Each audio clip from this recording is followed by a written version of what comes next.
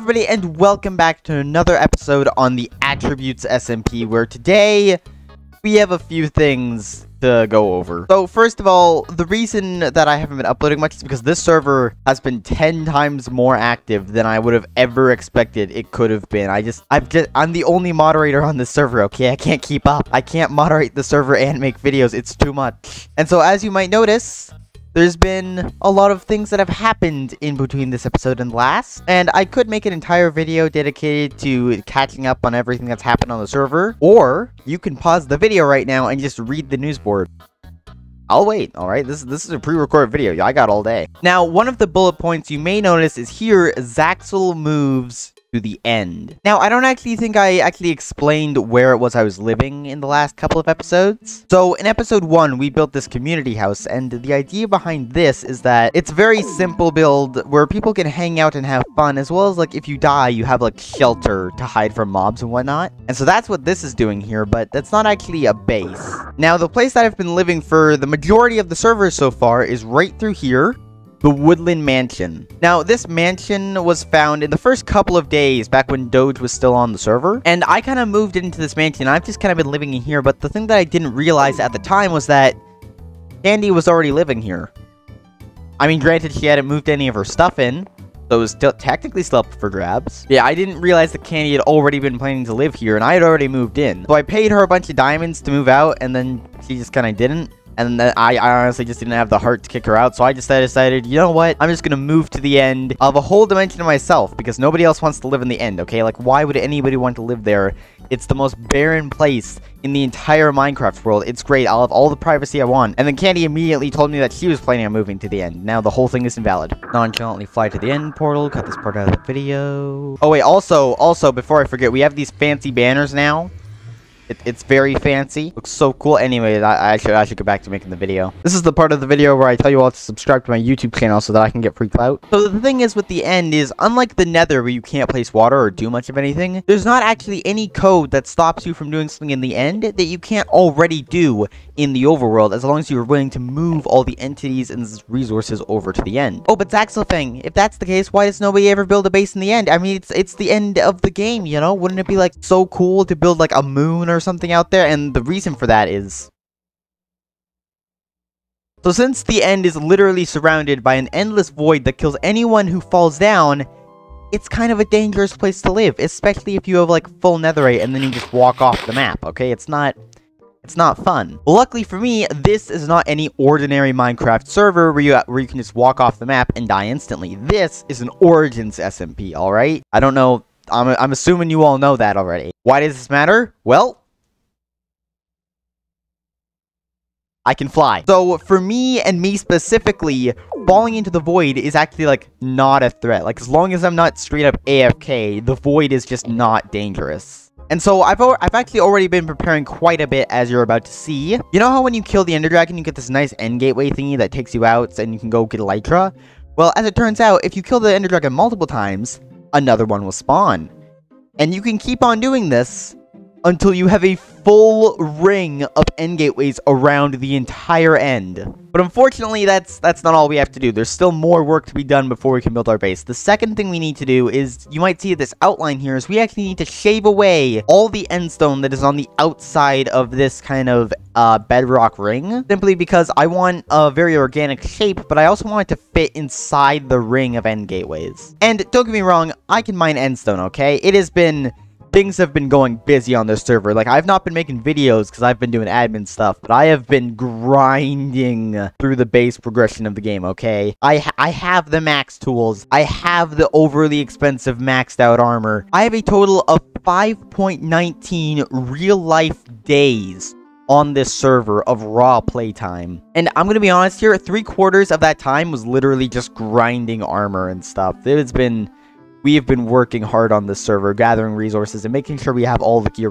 necessary to go and do the things that we want to do. Even so, that is a crazy amount of endstone to have to mine out by hand. And so that's why I need to go out and get a beacon. You guys are going to need some context for the clips that I'm about to show you, so I'm going to I'm going to start explaining that as I go around hunting wither skeletons. So a new member of the server named Spirit has recently joined the game, and a few weeks ago, he was looking to get himself some diamonds. And he decided that instead of mining for diamonds like a normal person, he was gonna come ask me for some diamonds. But since he had literally just joined the server like the day before, he didn't really have any way of paying me back for, you know, diamonds and stuff. And normally this would be a big problem, but luckily, I watch Hermitcraft. Now, Hermitcraft is probably just about the most famous YouTuber SMP out there. And the way the server operates is instead of rules, the quote-unquote hermits of the server have a variety of unspoken agreements that they just kind of obey. And one of these unspoken agreements is about something called an IOU. You'll see every now and again in the server when a hermit can't pay for something or when they need a favor done,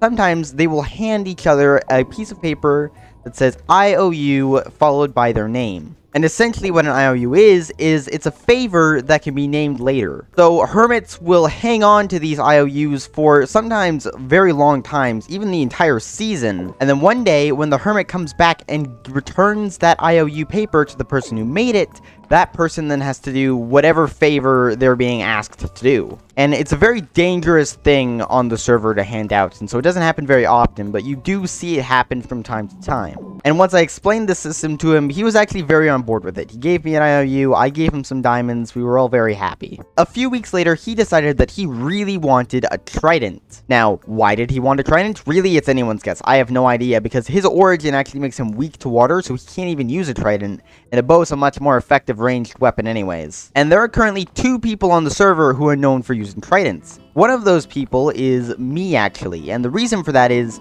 as I've explained, this is an origin server, and my origin gives me the ability to essentially turn into smoke and fly around through the air. But as you can probably tell, this isn't like an elytra flight, nor is it like creative mode, because what the game is doing is it's actually giving me the power to swim through air. And so because of that, when I use a Riptide Trident, the game thinks I'm underwater, allowing me to fly around with a trident really quickly in any biome at any time I desire, essentially allowing me to move five times faster than I would otherwise. And so because of this, I'm very much so known on the server for using tridents. However, also because of this, Spirit knew that I was never going to be willing to part with my trident. It's just too important to me. It's the most valuable tool I have. I wasn't going to give it to him, and he knew that. And so he went to the other member of the server who was known to have a trident, KakaFinn. But once again, Spirit had no way of paying Finn for the Trident, and an IOU simply wasn't going to cut it because Tridents are very difficult to get at this stage in the game, and Finn uses his quite a lot. And so he had a quote-unquote brilliant idea, because he was able to get some diamonds for an IOU, what if he took it a bit further and sold his literal soul? I am not joking. This man sold his soul or trident that he can't even use. Now, I'm saying he sold his soul, but what that basically means is there is this signed book on the server that essentially means whoever holds it, specifically Finn, can basically call in as many favors as they want. Essentially, he has to do whatever Finn says for the rest of his time on the server until the book is destroyed. And he was very unhappy about this arrangement because, like I said, A, he can't even use the trident, and B, once again, this is not something that a trident was worth, okay? A trident is valuable, but it's not that valuable, okay? Like, he, he basically had to be this guy's servant for the entire server, and that's just... That's a lot of work, okay? And he was especially unhappy as literally the next day, he went exploring in the nether and died with all his stuff, including the trident, for which he... What? That was weird. Including the trident he sold his soul for. And so now he is desperately trying to undo this contract and get his uh, soul back so that he doesn't have to do what Finn says anymore. And that leads us to the clip that I am about to show you. So for how much can I buy Spirit from you? Good question, good question. Uh... Roughly what would you say uh... his soul is worth? not that much. yeah, not that much. Let's see what pocket change I have. when we go back into the call with him, we have to not. We have to tell him that you like turned me down and that you yeah, still own him. Yeah. We just have to not tell him how long it takes him. I'm gonna wait until out. he gives me all the emeralds for the beacons, and then you're gonna wait him. until he comes to you with like 50 stacks of emerald blocks, and then be like, "Oh yeah, by the way, I haven't owned your soul for like a week." Yes. Like how much? How much is a reasonable price? Do you think? How how much do you think? I'm thinking 20 diamonds and about a stack of blaze rods. Wait, that's 49 blaze rods. I don't have a full stack yet. I have five stacks of diamonds. I don't. I. Dude, why are you so rich? Alright, how about 22 diamonds and a netherite scrap? Throw in a Thorns three book and uh, deal. Alright, I've got 22 diamonds, a netherite scrap, and a thorns 3 book. And here you go. Oh, hey. Christ. Okay, so how'd it go? We didn't really I'm get not rich enough. to. Uh, I can't afford uh, you. yeah. Don't have enough Zax, diamonds. come on. Don't have enough diamonds, man. I'm poor. Go mining, goddamn it. Get my fing soul. Why? What, what do I get? Oh, I guess your soul. That's fair. You know what? No, I'm quietly like making the emeralds needed to buy myself back. Yeah, I did the math. It's 128 beacons. stacks. You're building the damn beacons yourself. All you told me to do was to That's get the true. emeralds. You didn't say max beacons, so it's only nine blocks a beacon, which is I, 81 s- per I did said max beacons. Are you kidding me? 50. Yes, you did not specify max beacons. I have enough. Give my damn soul back. Sorry, man. I I upped the price to full beacons. Nope. Nope. I- can't do that after I got. You cannot do that after I have enough Where to actually you? do it. I can absolutely do that. me- You have no rights towards me. Hey, hey, Zax, me and Squid Yeah. have been working together because I messaged Squid. That's why I left the call with Finn earlier. Look in this chest. That's how many emeralds me and Squid have put together. Squid, Hello. he he said beacons. He didn't say maxed out. We have enough. We have enough. Yay. Doesn't matter. You don't have rights. I have. I still own your soul. I have to. I, I mean, I have right, but I do have power to take you with me to court. I'll, I'll pull. I'll pull a flame. I will pull. I'm pulling a flame and echo. Get your butt to the community house and uh in the courtroom. okay, Your Honor. KakaFinn has my soul. Yeah. I asked him. Mhm. I asked him what how many emerald blocks it would take to get my soul back. He said 50 beacons. Quote beacons, not maxed. Do you have video footage of this? No, but I do. I did message Squid. He is my he is my witness. I messaged Squid because I, I told him that and we called. Good, can you confirm this? Yes, but I did tell him to record it, but he didn't record it. Bruh. yeah, I forgot. To, I forgot. To, I forgot to hit record. I just pulled out Streamlabs. I forgot to hit record. This is why you listen to your lawyer. Cur- currently, Your Honor, we, we almost have an entire double chest filled with emeralds. Yeah. Me and Squid have put together things, and I will repay Squid for it whenever he needs me to. What's the problem, Finn? The problem I'm having is fifth enough to make a fifth a fifty. Yeah, 50 beacons with emeralds without the beacons.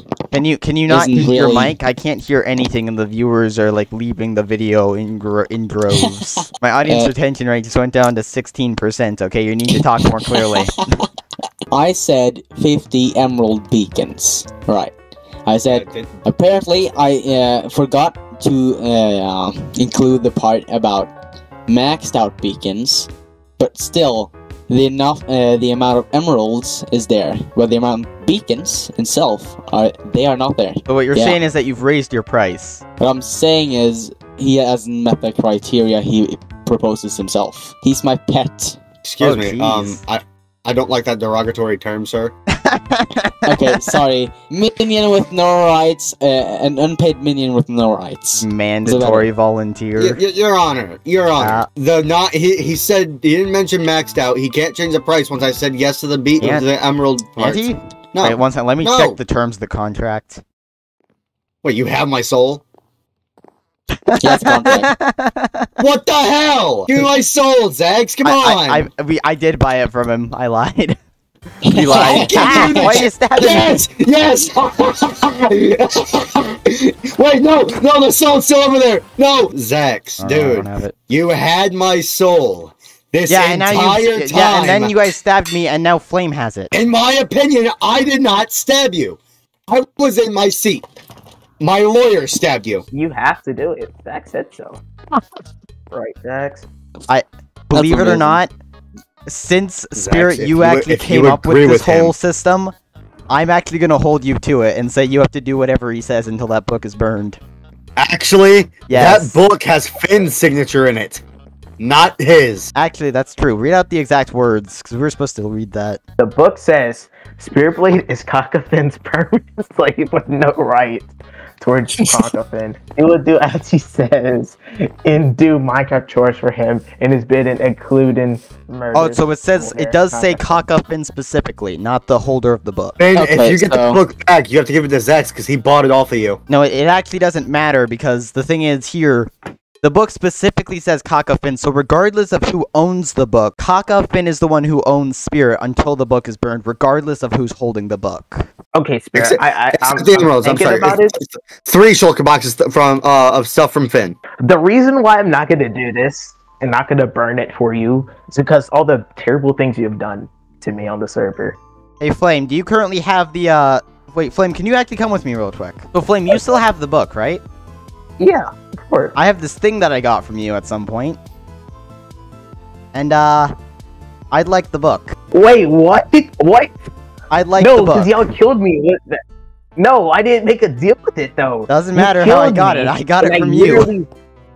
Literally- No, no, no, you I'd didn't. like the book. You literally killed me for it. To be fair, No, to be fair, it doesn't actually give the book doesn't even give you any power. I'm mostly just using it so I can bribe uh so I can bribe spirit later. This isn't actually you're not losing I any power here. I have no choice. Yeah, Oh, actually no. actually flame here. I have I have I have, I have an ender chest right here. Zax, Here? what's going on? Eric, you got lucky.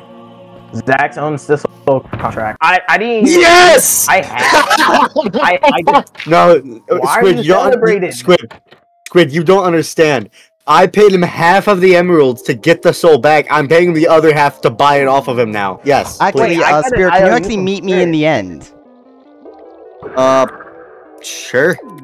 So I have I don't know why flames here, but I currently am gonna decide what's gonna happen to Spirit's soul moving forward. So I need to know like what are you offering me to give it to you, and what are you offering me to burn it? I will offer you. I will offer you everything in my inventory right now. I'll give you this shulker box fi- filled with uh, good armor and stuff.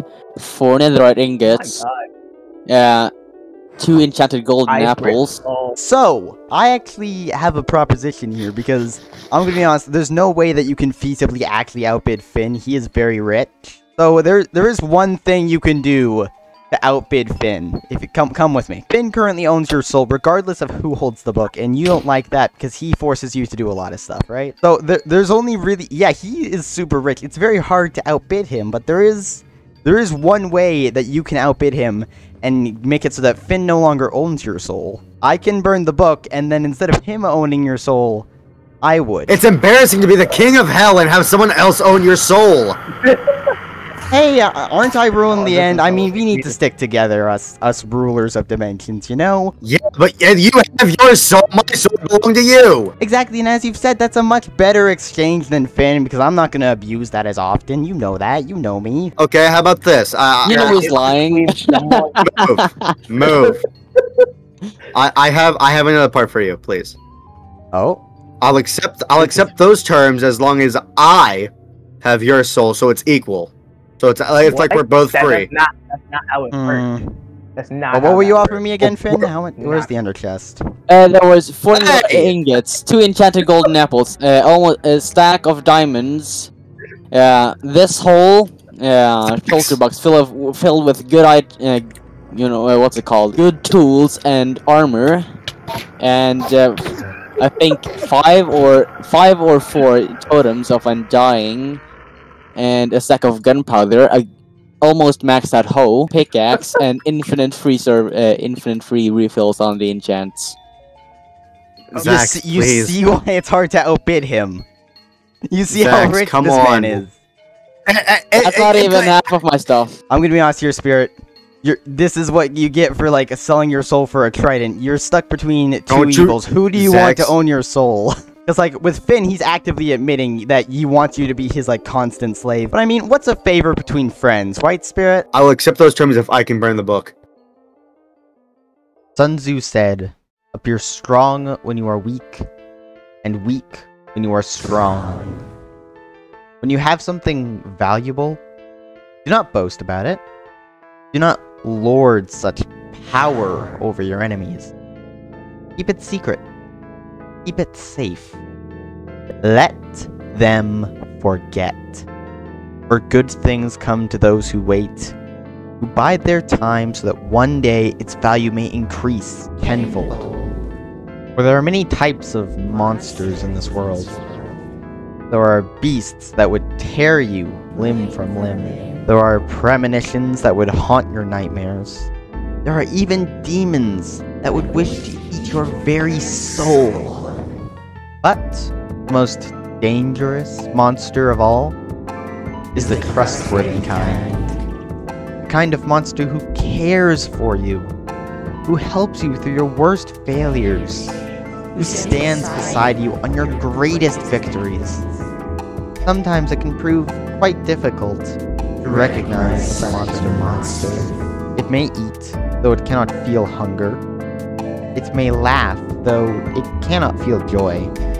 It may cry, though it cannot feel pain. It may smile. But that's just the thing about smiles, isn't it? You never really know what lies underneath. What, what lurks in the shadows. What, what whispers in the dark. What flickers in the corner of your eye. But who could blame you really for falling prey to such a monster? After all, better to trust the devil you know, right?